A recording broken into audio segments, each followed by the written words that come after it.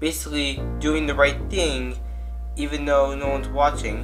What does respect really mean? How do you Showing show of respect? maturity to others and those with higher authority. Here are six simple ways to show respect, starting with manners.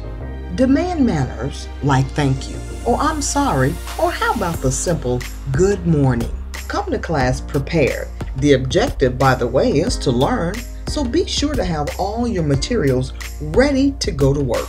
Being a good listener, quietly listening, watching with your eyes, and not talking while others are speaking. It's just not cool to be rude.